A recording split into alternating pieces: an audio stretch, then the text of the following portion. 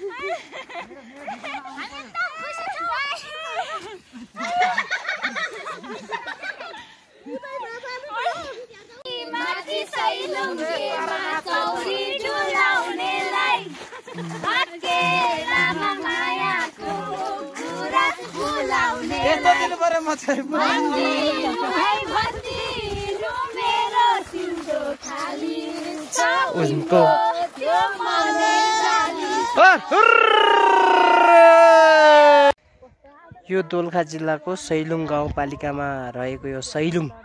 तपाईँको त्यो माथिको चाहिँ भ्यू टावर र गुम्बा हो। यता आन्तरिक बाह्य पर्यटकहरू चाहिँ धेरै आएको छन्। यो स यो सैलुङमा चाहिँ सय थुङ्गा रहेको छ।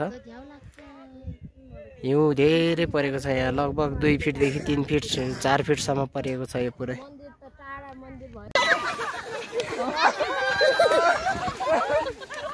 मेरो त ब्रेकै लाग्यो।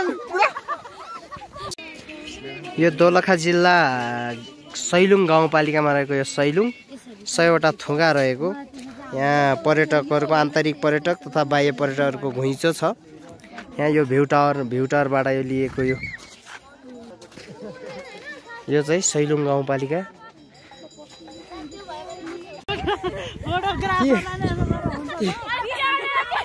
तिमीहरू गोदा खायो अब गोदा खायो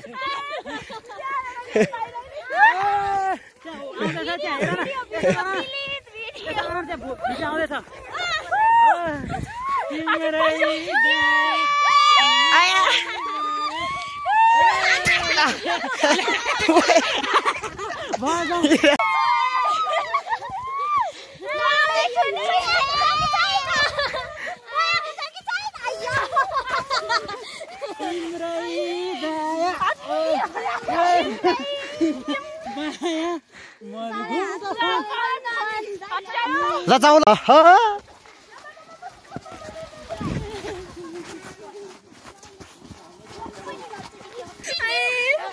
थला पर्यो थल। यो सैलुङमा पर्यटकहरूको आगमनमा यहाँ लडी लडिरहेको छन् हाम्रो दर्शकहरू। लडेर घाइते भएको छ कोही कोही। ऊ त्यस्तरी लडेको छ। ऊ ऊ ऊ सब लडेको लडेछ आज। सब घाइते घाइते छन्। होइन यहाँ के भइरहेछ? होइन। ओ- ओइ भाइ ओइ भाइ यहाँ के भइरहेछ भाइ? ओइ भाइ।